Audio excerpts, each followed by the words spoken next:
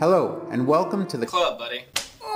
Что касаемо трейлера, смотря его, я чуть ёбу не дал. Нарисован-то он замечательно, спору нет. Но что тут происходит? 43 год, оккупированная фашистами Италия. Нам показывают просто ужасную картину. Ой, нету. Немец беспощадно где-то на задворках закрывает итальянский флаг своим флагом. Граждане спокойно ходят за едой в магазины. Ходят по улицам без присмотра и прекрасно живут. Добровольно предлагают немчуру свои припасы, за что тот их покорно благодарит.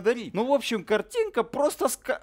просто апофеоз всего ужаса войны. Прям сразу в этих солдатах узнаются фашисты. Но тут внезапно какие-то шизики с тазиками и тарелками на голове решают помочь жителям этого города. Разрушив его и убив, наверное, половину этих самых граждан. Нет, серьезно, сюда просто внезапно влетают два тихоходных тяжелых танка. Наверное, внезапно, потому что патрулировал окрестности города один жопоглазый классический фаша, который не тяжелые танки, не десантируемые самолета войска увидеть не в состоянии. Притом все остальные фашики обустроили какой-то муравейник в церкви, набившись настолько плотно, что их может смести парочка авиационных бомб. Идти под прикрытием танков это, конечно, прикольно, но вот что случилось с этими танками после обвала на них каких-то зданий, я, честно говоря, так и не понял. Или Черчилля так боятся кирпичей, что при попадании хоть одного из них на крышу тут же самовоспламеняется и приходит в негодность. И тут Амер с Бритом срывают с цепи свое тактическое мышление, где один просто стреляет с автомата в несколько танков, десятки солдат с пулеметами и называет это, сука, прикрытие, а другой просто пробегает 5 метров. Тактика! В бегущего целится лощеный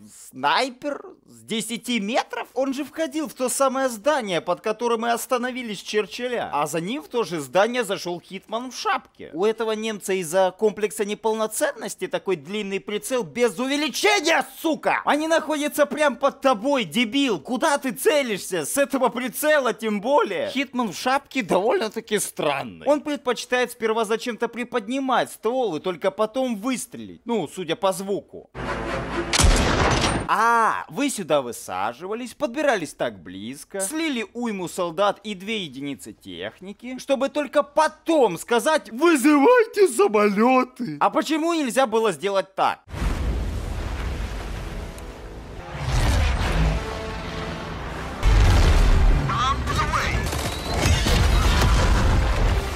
А в чем смысл всего того, что до этого было? Это и есть те самые герои. Героями их делает то, что они просто попросили самолеты скинуть бомбочки, которые разнесли половину мирно живущего в этом трейлере города. Настолько примитивная тактика оскорбляет не только реальные военные события. Она оскорбляет любой бой второго Коха, в котором игроки генерируют тактику в сотни раз более интересную, чем в вашем трейлере. Ну да, зато сильная, независимая, потрогала винтовку. Ш, блять, что я сейчас вообще смотрел? Как мне вообще можно понять происходящее в трейлере, если я, допустим, не знаю историю? Как я могу поверить в эту оккупацию, если она состоит только из символичной смены флага? Это не оккупация, это мирное сожительство с какими-то милыми солдатиками в черной форме. И на все это мирное сожительство зачем-то нападают вот эти ребята в тазиках и тарелках и просто громят город. На этот раз нам покажут освобождение Италии в 1943 году. Кого? Или от чего? От сраного флажка?